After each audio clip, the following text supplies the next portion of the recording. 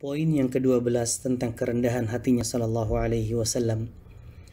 Uqbah bin Amir radhiyallahu anhu, seorang sahabat Nabi sallallahu alaihi wasallam pernah berkata, ada seorang lelaki datang kepada Nabi sallallahu alaihi wasallam dan mengajaknya berbicara.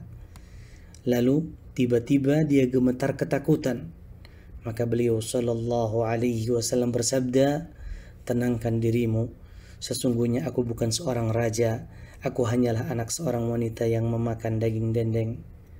Poin yang ke-13, membantu keluarganya. Aswad bin Yazid rahimahullahu taala pernah berkata, Aku dahulu pernah bertanya kepada Aisyah radhiyallahu anha tentang apa yang dikerjakan oleh Nabi Shallallahu alaihi wasallam ketika berada di rumah. Maka Aisyah pun menjawab, beliau selalu membantu keluarganya dan jika datang waktu sholat, maka beliau keluar untuk melaksanakannya. Poin yang ke-14, sikap acuhnya terhadap perilaku orang-orang jahil. Rasulullah Shallallahu Alaihi Wasallam bersabda, Tidakkah kalian takjub, kagum bagaimana Allah Subhanahu wa taala menyelamatkan aku dari caci maki Quraisy dan laknat mereka? Mereka biasa mencaci maki orang yang tercela dan melaknat orang yang tercela. Sedangkan aku adalah Muhammad, orang yang dipuji. Poin yang ke-15, kejujurannya. Abdullah bin Mas'ud radhiyallahu anhu berkata, telah bercerita kepada kami Rasulullah sallallahu alaihi wasallam dan dia adalah orang yang jujur lagi dibenarkan ucapannya. Poin 16. Akhlaknya terhadap pelayannya. Anas bin Malik radhiyallahu anhu berkata, Aku menjadi pelayan Rasulullah sallallahu alaihi wasallam selama 10 tahun Demi Allah, selama itu beliau tidak pernah berkata uff, hush kepadaku dan tidak pernah beliau menegur yang telah kukerjakan dengan mengatakan, "Kenapa kau lakukan ini dan itu?" Dan terhadap pekerjaan yang belum kukerjakan, tak pernah beliau mengomentari, "Kerjakanlah begini dan begitu." Poin yang ke-17 Beliau Shallallahu Alaihi Wasallam tidak pernah membedakan dirinya dengan para sahabatnya dan beliau sangat berlapang dada. Anas bin Malik radhiyallahu anhu berkata, suatu ketika kami sedang duduk bersama Nabi Shallallahu Alaihi Wasallam di masjid. Kemudian masuklah seorang lelaki yang datang mengendarai unta. Lalu ia memberhentikan untanya di masjid dan mengikatnya. Kemudian dia bertanya, Siapakah di antara kalian yang bernama Muhammad? Ketika itu Rasulullah Shallallahu Alaihi Wasallam sedang bersandar di antara mereka, maka kami menjawab, ini dia lelaki berkulit putih yang sedang bersandar. Lalu lelaki itu pun berkata kepada beliau, wahai ibnu Abdul Muttalib. Maka Rasulullah Shallallahu Alaihi Wasallam berkata kepadanya, aku menyambut panggilanmu. Kemudian lelaki itu pun berkata, wahai Muhammad, aku akan bertanya kepadamu tentang suatu hal yang membuatmu terganggu, maka janganlah engkau marah kepadaku karenanya. Nabi Shallallahu Alaihi Wasallam bersabda, sampaikanlah apa yang engkau ingin tanyakan. Lalu ia pun berkata, Aku bertanya kepadamu tentang nama Robmu dan Rob orang-orang sebelummu. Apakah benar Allah yang mengutusmu kepada seluruh umat manusia? Lalu Rasulullah Shallallahu Alaihi Wasallam menjawab, Iya benar. Lalu ia berkata kembali, Aku bertanya kepadamu demi Allah, apakah benar Allah yang memerintahkanmu agar kami mendirikan sholat lima waktu sehari semalam? Rasulullah Shallallahu Alaihi Wasallam pun menjawab, Iya benar.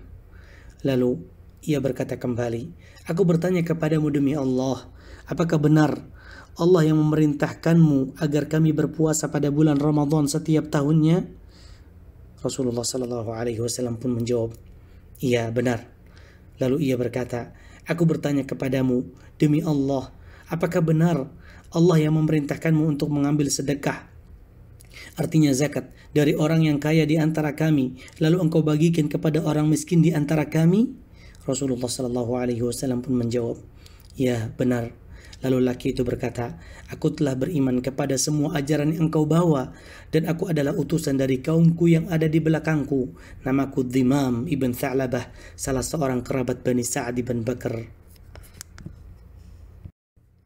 Poin yang ke-18, rotinya. Aisyah radhiyallahu anha berkata, Keluarga Rasulullah Sallallahu Alaihi Wasallam tidak pernah kenyang karena makan roti gandum dalam dua hari berturut-turut hingga beliau menghadap Allah Subhanahu Wa Taala. Poin ke-19, kezuhudannya terhadap dunia Rasulullah Shallallahu Alaihi Wasallam bersabda, Aku tidak suka bila emas sebesar gunung Uhud ini menjadi milikku dan bermalam di rumahku hingga tiga malam. Kemudian aku mempunyai satu dinar darinya, kecuali satu dinar tersebut akan aku gunakan untuk membayar hutangku atau aku akan memberikannya kepada hamba Allah begini, begini dan begini. Poin yang ke-20. Aisyah radhiyallahu anha berkata, Nabi Shallallahu Alaihi Wasallam tidak pernah berbuat keji. Poin yang ke-20 tidak mencaci tidak mencaci maki. Aisyah radhiyallahu anha berkata, Nabi Shallallahu Alaihi Wasallam tidak pernah berbuat keji, tidak pula mengucapkan kata-kata kotor, tidak berbuat gaduh di pasar, dan tidak pernah membalas keburukan dengan keburukan. Akan tetapi beliau memaaf, beliau adalah pemaaf dan pengampun. Poin yang ke-21, tidak menyentuh tangan wanita.